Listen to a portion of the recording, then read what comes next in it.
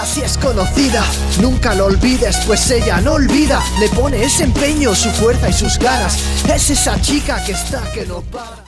Hola chicos, ¿qué tal? Yo soy Mailet y en el día de hoy les traigo un tutorial de cómo incluir efecto neón en sus videos.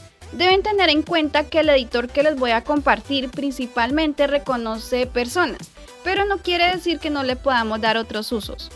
Pero antes de comenzar les quiero recordar de que en la descripción del video les voy a dejar disponible el enlace donde van a obtener más información de forma escrita y de ser necesario la descarga de la aplicación.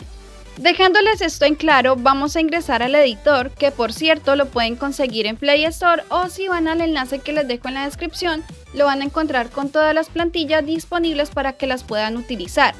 Aquí en la primera página, es decir, después de que abrimos el editor, vamos a encontrar un sinnúmero de categorías en estilos de plantillas que ustedes pueden utilizar. Así que en este paso ustedes con más tiempo van a elegir el que más les guste. Yo voy a escoger uno de los primeros que aparece como por ejemplo este de aquí. Cabe destacar de que es necesario tener conexión a internet no más para descargar las plantillas, ya después de que estén descargadas no es necesario el uso de conexión a internet. Vamos a la opción de usar plantillas y eso nos envía a la sección de videos o fotos que tenemos en la galería. Como ya se los había dicho al inicio del video, este editor reconoce principalmente a las personas que aparecen en un video para aplicar los efectos. Como no tengo videos míos, voy a utilizar mi personaje. Aquí nos va a dar una vista previa que en ese momento se ve súper lento, pero ese no va a ser el resultado. Eso ocurre porque pues estoy grabando al momento de utilizar el editor de video. Si les gusta la vista previa que alcanzan a visualizar al momento de utilizar la plantilla, simplemente se van a la opción de exportar. Cabe destacar que es necesario que no cierren la aplicación o la dejen en segundo plano o si no, eso no se va a exportar.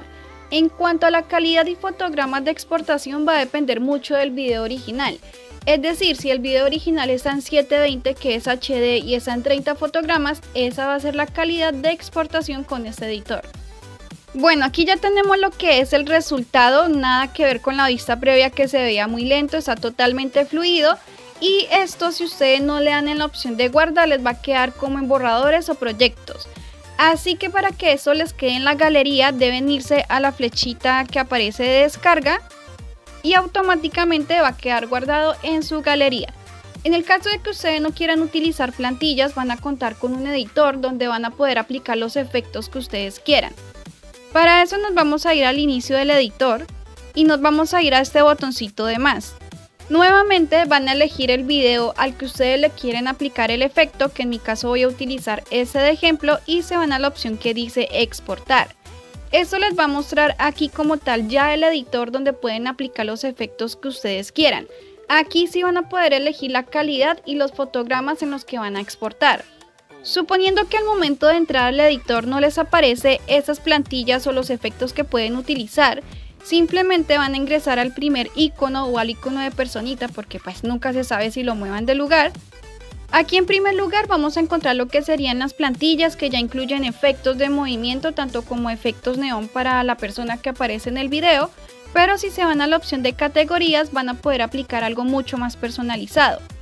Por ejemplo, yo quiero aplicar uno de los que aparece aquí estilo lineal, van a ubicar lo que sería la línea de tiempo donde quieren empezar a aplicar el efecto, en mi caso lo voy a hacer desde el inicio y van a mantener pulsado. Mantienen pulsado hasta la parte donde ustedes quieren que se aplique, si quieren que sea en todo el video pues lo mantienen pulsado durante todo el video. Si nos vamos a la opción de reproducir nos va a dar una vista previa de más o menos cómo se vería. Si quieren aplicar otros efectos encima o dejando unos espacios para otros tipos de efectos, lo pueden hacer. Por ejemplo, vamos a mantener pulsado nomás durante unos segundos del video.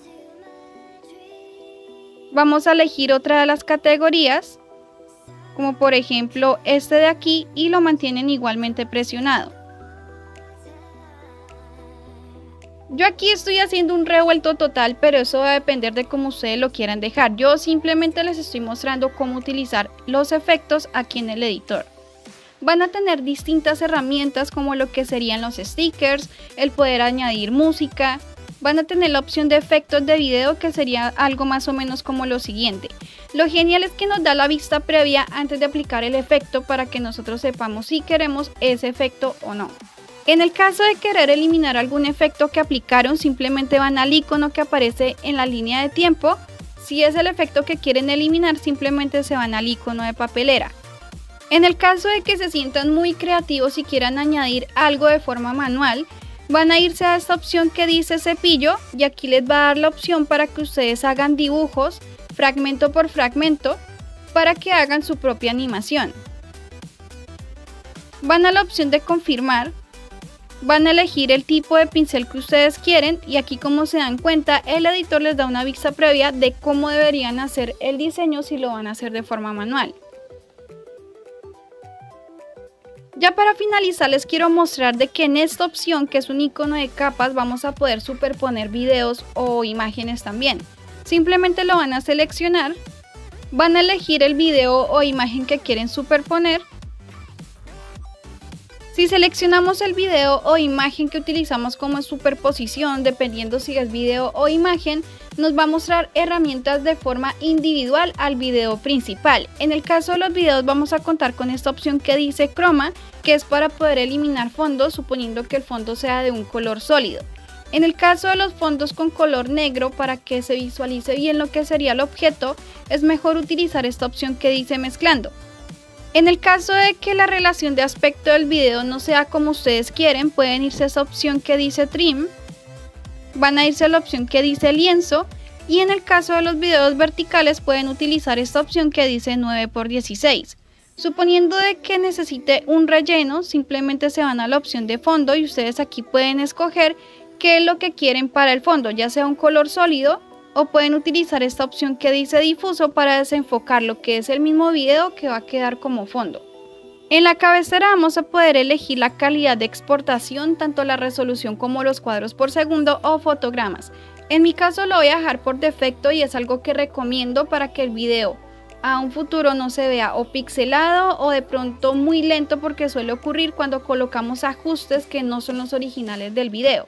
En mi caso están 720 y hasta donde tengo entendido están 50 fotogramas, pero pues aquí me marca por defecto porque en la barrita no tenemos la opción de 50. Ya por último simplemente nos vamos a la opción de exportar, vamos a esperar sin cerrar el editor.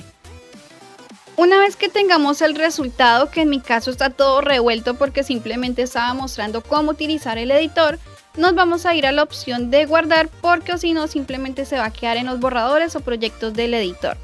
Bueno chicos, yo creo que eso ha sido todo por el día de hoy. Espero que les haya sido de ayuda ese tutorial. No olviden que si son nuevos en el canal pueden suscribirse para que no se pierdan de nuevo contenido. Los invito también a seguirme en mis demás redes sociales y nos vemos en una próxima ocasión.